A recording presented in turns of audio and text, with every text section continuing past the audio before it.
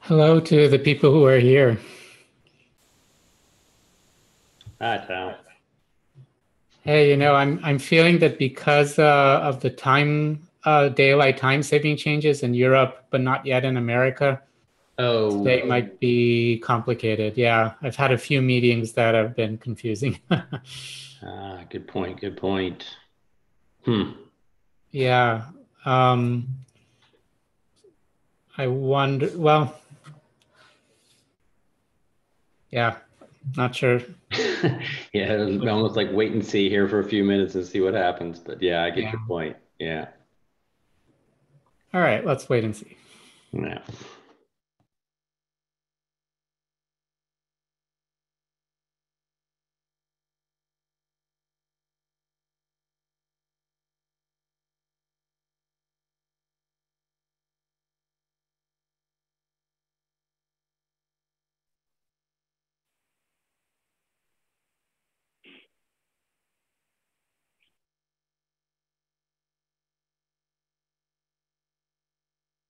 Welcome all.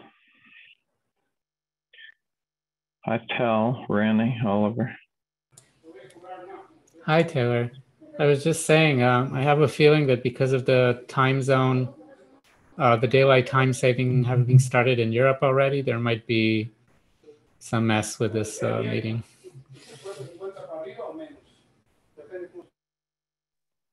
Yeah, we probably have a couple of weeks of this with the, we'll change our time zone in the US in a few weeks and then have the same problems. Well, the US is changing on November 7th, so I think we'll be back to be fully synced next Monday.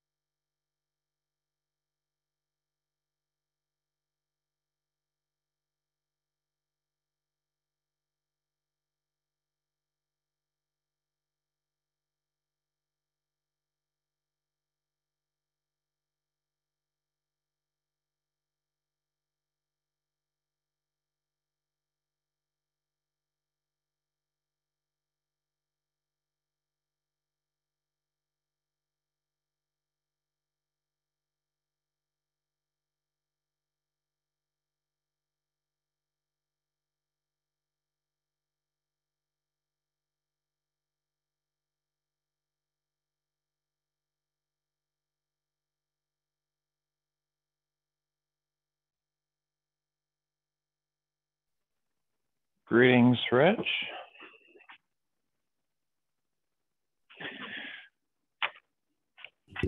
Hello. All right.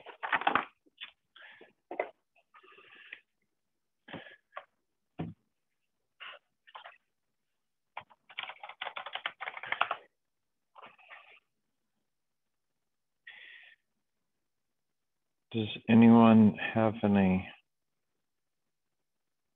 topics for today? I'm still waiting for my main system to reconnect. Um, let's see. Working group.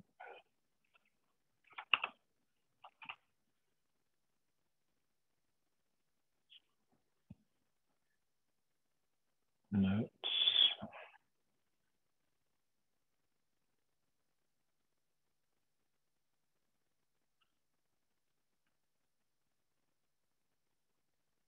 right, there we go.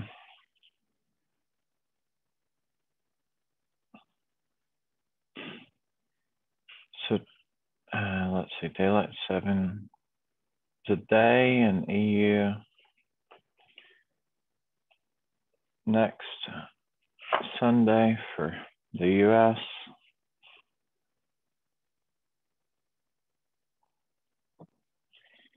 Any other time zones we gotta think about, Tal?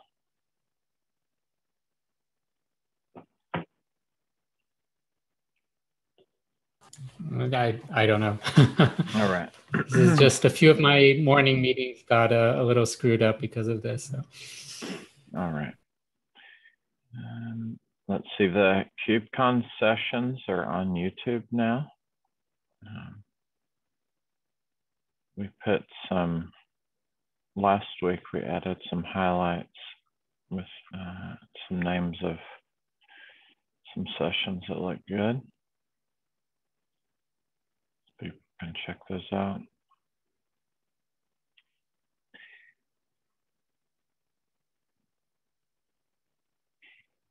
Uh, what else do we got here?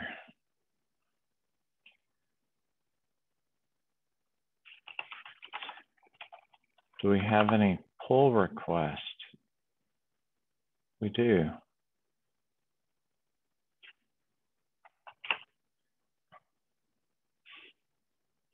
Does anyone have anything else?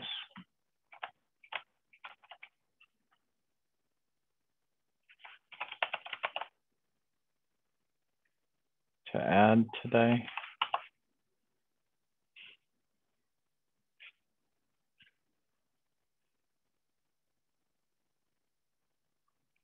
All right. These all look pretty minimal.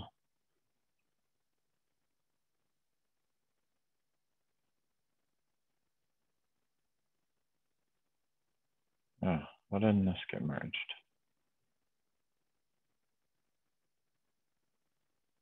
These were just updates, I think, to add the numbers. I'm going to merge that. Squash. Dependabot. Victor on the call? No. And let's see. And get back and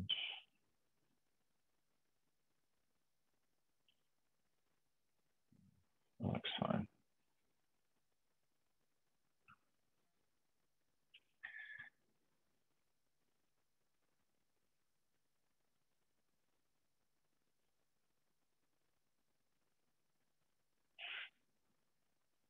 All right.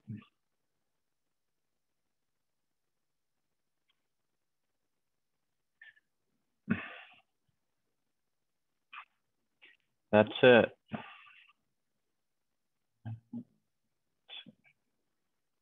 Branch.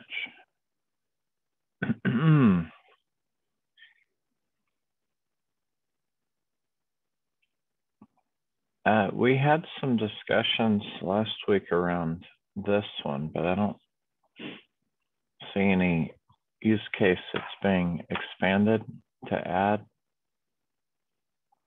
Is that something, Randy, that you'd like to think could be a, a good area to expand and maybe do a write up, either a user story or use cases?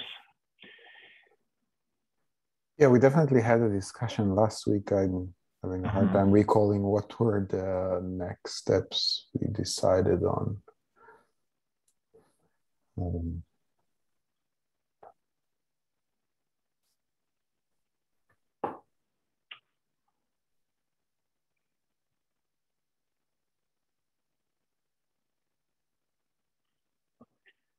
So, um, whether it's going to be some type of focused one on that, or is it going to be a larger level? I think it's going to be more than a, a very focused on that, then we'd want to differentiate between like this one.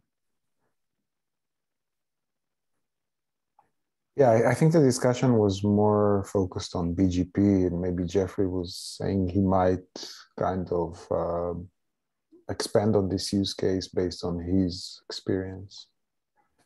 All right. the other way that some of this can be written um, to have it more focused, which seems like maybe a fit for at least the NAT portion, would be to write up some user stories. So these are a lot shorter. Describing a a problem that we want to try to cover. This is under the supply chain attacks. Yes, I think in this case, the, the use case is more the BGP. The NAT is one of the problems to deal with. Mhm. But if we are talking about the user story, maybe something um, BGP based. And again, if I'm not mistaken, Jeffrey was volunteering to kind of provide more details based on how they deploy BGP. All right.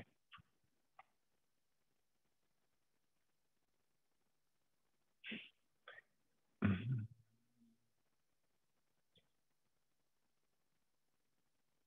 Let me see. It's cases and stable CNF.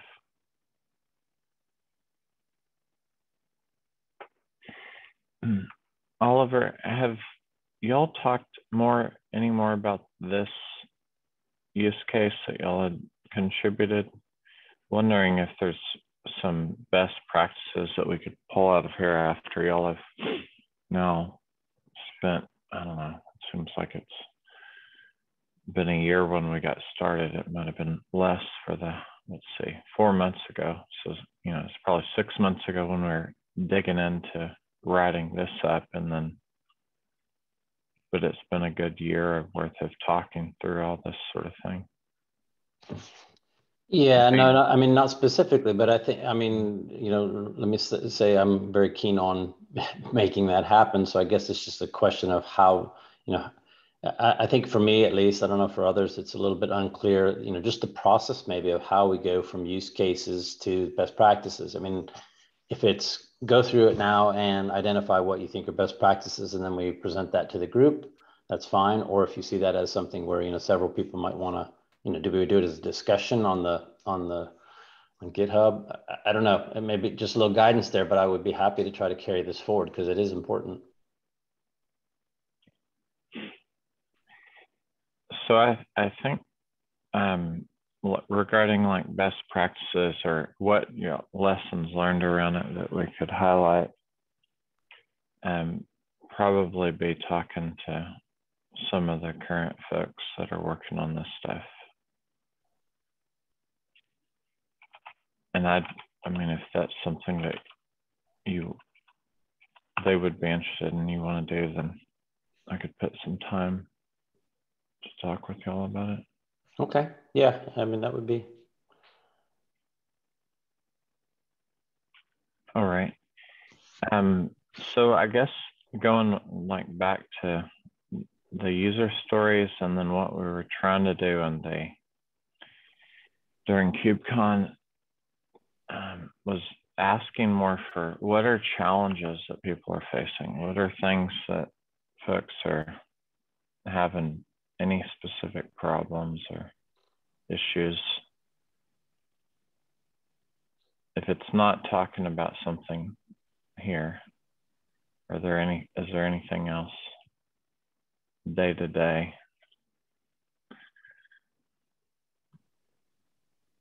Or recently, like something relevant that y'all have real world run into? Well, I've uh, been starting to work on a new uh, discussion around uh, uh, proposed best practice regarding what I call fully declarative. Uh, I have half of something written. I'm trying to use HackMD to see how well that works for me. Um, it's public, but please don't read it yet. It's not, it's not done. I hope I'll be done by next week and we'll be able to present something.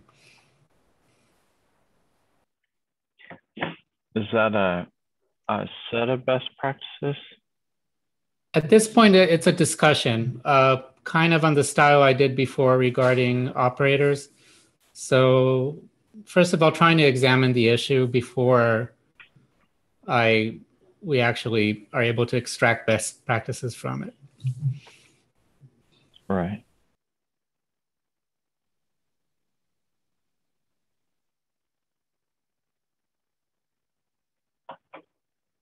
So maybe have a draft um, ready to review next week.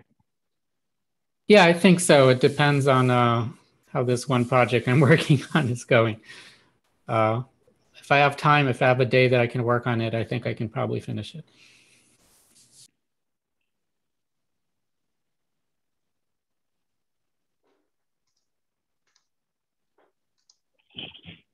All right.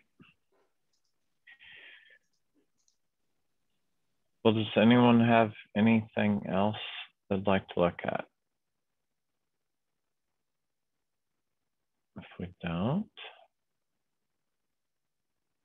give everyone's time back. Hey, Daniel. Hello. Can you hear me? Yeah, I can. You got Yeah, anything sorry. you want to take a look at? Uh, I'll I'll start uh, as I start to be able to get some more free time for me. I'll uh, I'll be able to jump back in on the conversations. Today kind of was Alright. kind of a refresher. Um, that's basically it. Okay. Um, well, saying ideally would dig more into the active challenges. So if there's something that you've been working through, um, Uh, the- that. I think the most active challenges we I've, we're dealing on a day to day have been um, roles, for example, um, uh, cluster admin roles and uh, requirements for uh, CRDs. These are the things we feel the most with the current uh, when we deal with the VNFs, or CNFs Mhm. from vendors. Secondly, is network segmentation. Segmentation, network segmentation is still one of the biggest challenge we've seen, I think. So for example, you want to have you you want to offer access to a cluster to be able to deploy uh, some specific CNFs. You don't want to give admin, but then you're forced to because of the CRD custom definitions that are required. So then uh, those are things that are still in the in the day-to-day problems that we face. I think most operators face right now. So, uh, um, other than that is basically network segmentation.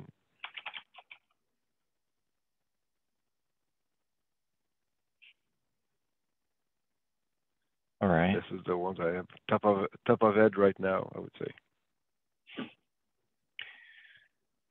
Denver, Drew, didn't we start working on a cluster admin role test for the CNF test suite? Or it's on, Uh, maybe it's in the queue. I think that one already got added as part of the Kubescape stuff we've been implementing. right. So that's a, a check to where, to see if, if cluster admin role is being assigned. Daniel? Uh, the the trick is uh, with right, so we know we can do it. The question Mhm. is, could we should we do it, and can we live without it? So are we able to? For us, if you're not a if you're not a cluster admin, you actually you just want to deploy a, a workload, even like for example 5G core in our case or something like this. Mhm. Why should we assign admin role, cluster admin roles to a specific set of users to be able to deploy those things as a workload? Right. There one that often people are just whatever's the easiest, right? So the idea with this test would be to say, hey, we think this is a bad practice to require it. So now you need to say why you need it. And then you get the exception. Oh, this is why. And I communicate it to you. And then other ones hopefully go, oh, we don't really need it. Let's use a different rule. Would be the encouragement there. Yep. Uh, and that was um, related to network segmentation, or is that was No, no, not okay. Network segmentation is the other problems we face the Okay. most. Mhm. Um, and that's the one where I'm right now focusing a bit more because Mm-hmm. uh, we can do some multi-interface.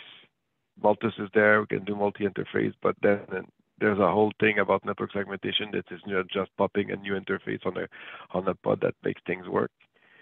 So uh, the next step, how do you do network segmentation, but do the next step around? Okay, so I got I got a new interface, fine. I need to now mess with the routes of the pods and then I need to find a way to make it connected to a, a, a real network, which is not just a, a VLAN interface. So uh, those are the next steps that I think are missing.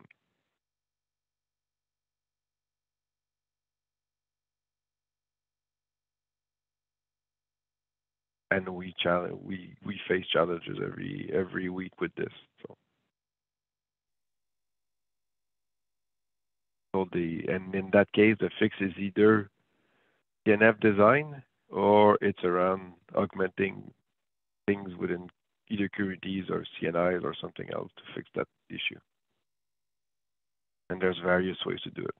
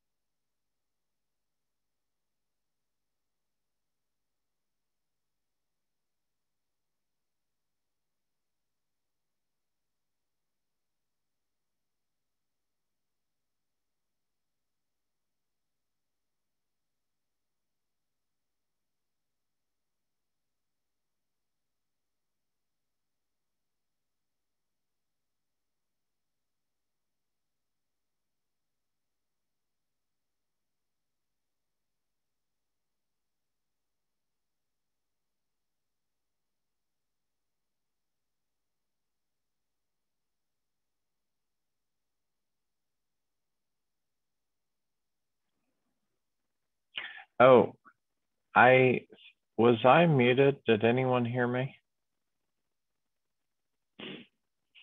I think You you, were were muted. because uh, Oh, I was actually. I didn't realize I was muted. All right.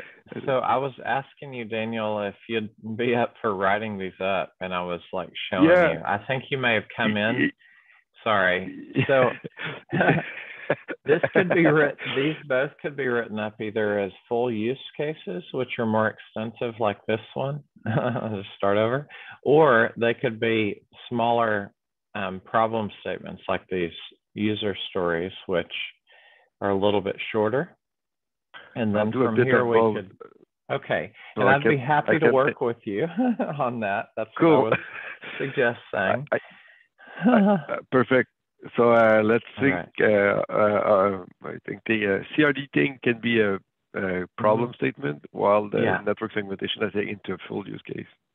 Great, that sounds great.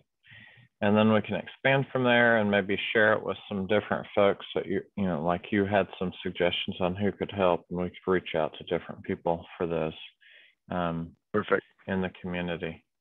All right. Um, does anyone else have anything else?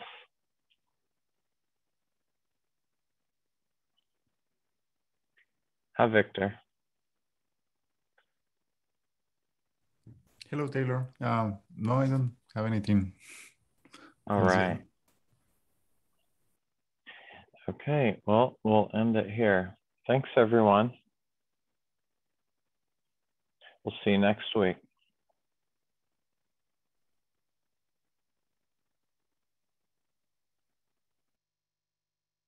Bye, Taylor.